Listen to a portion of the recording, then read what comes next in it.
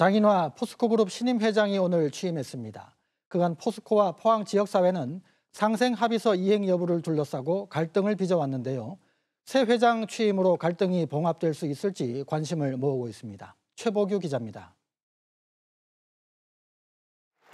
미래를 여는 소재 초인류를 향한 혁신을 새 비전으로 제시한 장인화 포스코 그룹 신임 회장.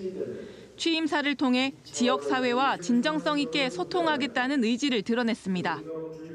지역사회의 협력을 진정성 있게 실천하겠습니다.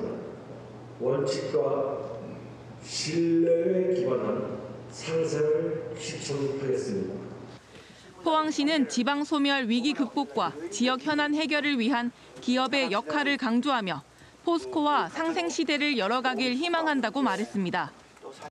우리 지역 주민들하고 불편했던 관계를 개선시키는 상생해 나가는 그런 쪽으로 포스코가 좀 바뀌도록 그런 역할들을 좀 해야 되지 않겠나 생각하고 2022년 이후 최근까지 갈등이 끊이질 않았던 포스코와 포항 지역사회. 당시 포스코는 포스코 지주회사의 포항 이전과 미래기술연구원 포항 중심 운영 등 세 가지 사항을 약속했습니다. 그러나 지역사회는 포스코가 약속을 충실하게 이행하지 않았다며 비난 수위를 높여왔습니다.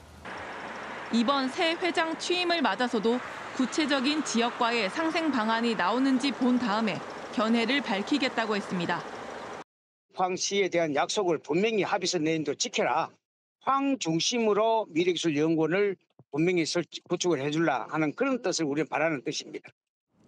지난 반세기 지역을 기반으로 성장해온 포스코가 갈등의 골을 메우고 지역 상생의 길로 들어설지 주목됩니다. KBS 뉴스 최복입니다.